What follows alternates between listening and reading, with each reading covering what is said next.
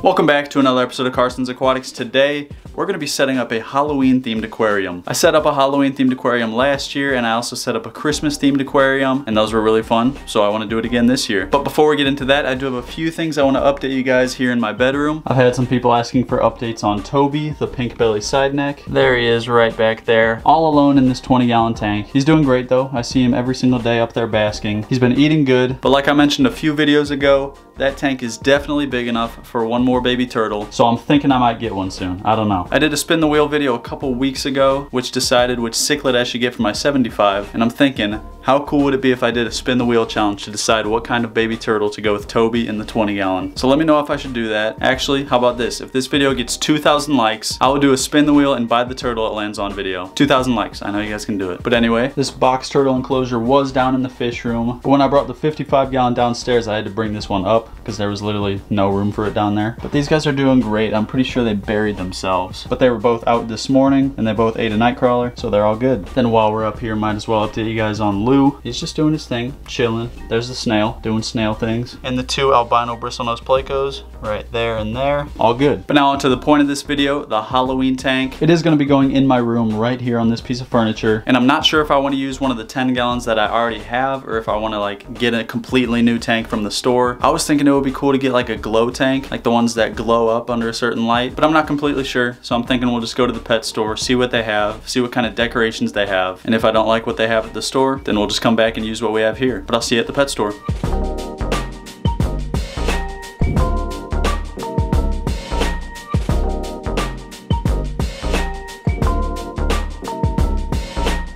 Alrighty guys, just got done inside of PetSmart. Let me show you what I got. Right here we got a pumpkin decoration. I already have a pumpkin decoration from last year, but I wanted a different one. So I got this one, it's a bit bigger. And that one should also glow under blue light, which should be cool. I also got another purple plant. It's like a medium sized one. I believe I have a shorter one. Then I have a taller orange plant that I'll probably use. Right here I have a timed outlet. This is for my 25 gallon in the fish room, just so I don't have to manually turn it on and off every day. Then over here we got the gravel. I was gonna get all black gravel, but then I saw that they had black and white. And I thought that'll look cool with like the orange and the purple. So that's what I went with. It should look pretty cool. So we're gonna head home and start setting up our Halloween tank. Alrighty guys, we made it back. Got all of our stuff right here. Now I'm gonna start clearing this off so we can put the tank there.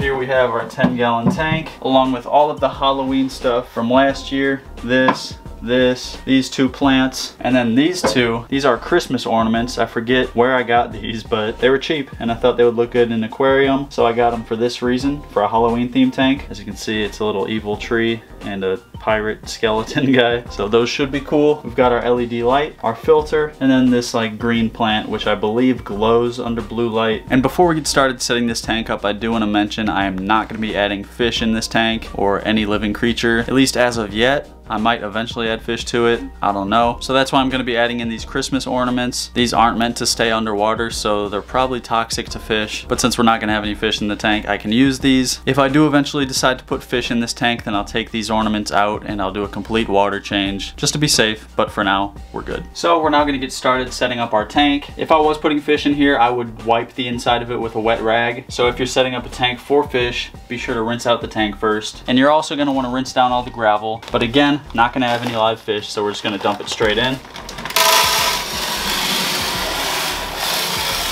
That looks really cool. And if we needed to, we could do with just one bag of that gravel. But since we got two, we're gonna put both in.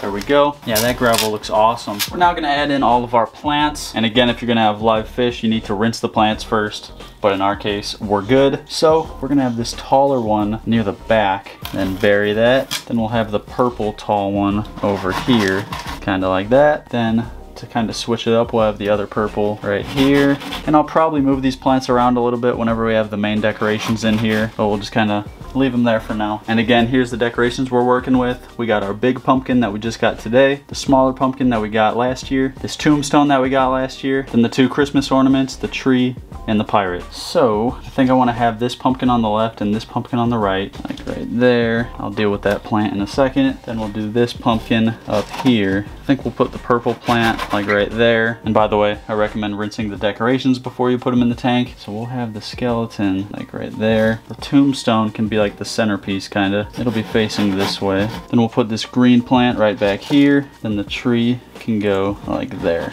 Yeah, I think that looks pretty good. Just look at all the different colors. It's gonna look awesome when we get water in there and put the light on. And with that being said, let's start filling it with water.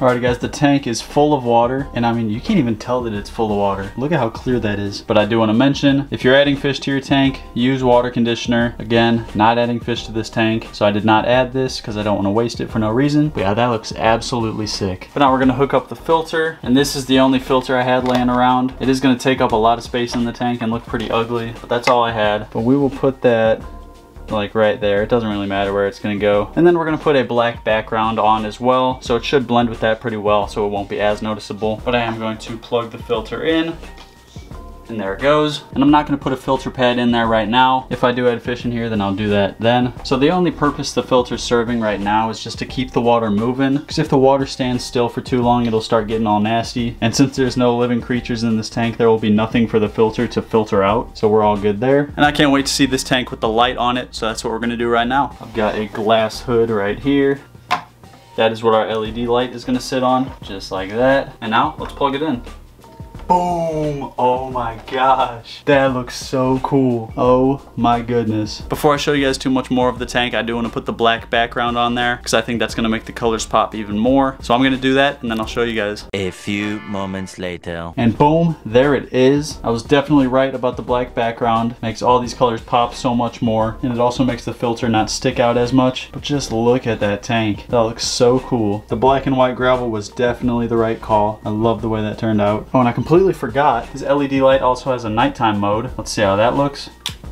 Ooh, that is awesome. It's like glowing. The pumpkins are glowing. Yeah, that green plant, I thought it was glow in the dark. Oh my gosh, that is so cool. I don't know about you guys, but I definitely want to see some fish in this tank. We can make it a GloFish tank. I've never had GloFish before and I'm not really sure how I feel about them. I'll have to look more into that and find out how they get them to actually glow because I know it's not natural. So we'll see about that. But definitely let me know what kind of fish you want to see in this Halloween tank. Here's another look at it with just that white light.